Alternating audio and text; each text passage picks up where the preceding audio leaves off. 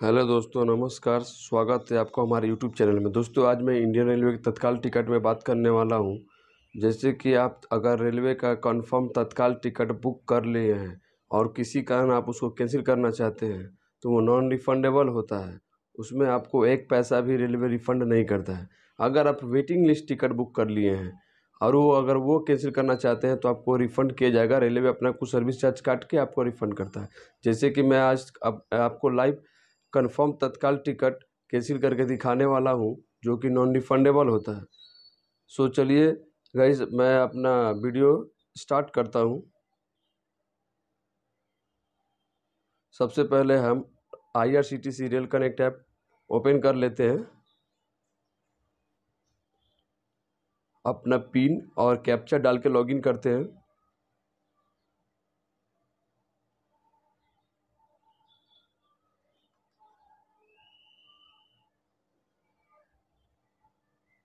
मैं I R C T C rail connect login कर चुका हूँ। सो आप देख पा रहे हैं। माई ट्रांजेक्शन में जाके मैं आपको लास्ट ट्रांजेक्शन दिखाता हूँ, जो कि मैं कल बुक किया था।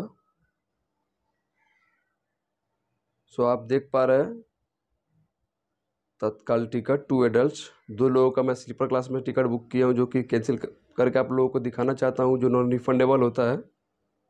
फिर से मैं होम पेज में आ गया।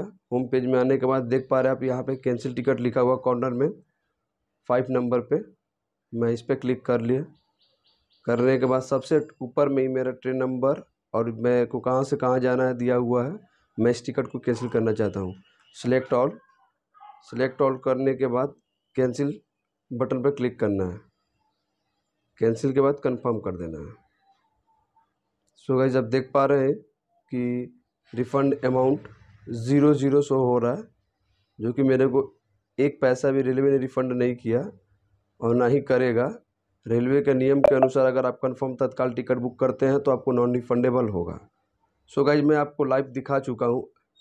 आई सो आई होप कि आपको हमारा यह वीडियो काफ़ी पसंद आया होगा। अगर पसंद आया होगा तो हमारे चैनल को लाइक शेयर एंड सब्सक्राइब ज़रूर करें, ताकि हमारा नेक्स्ट अगला वीडियो आपके पास तक पहुँच सके। मैं इसी तरह का वीडियो बनाता हूँ।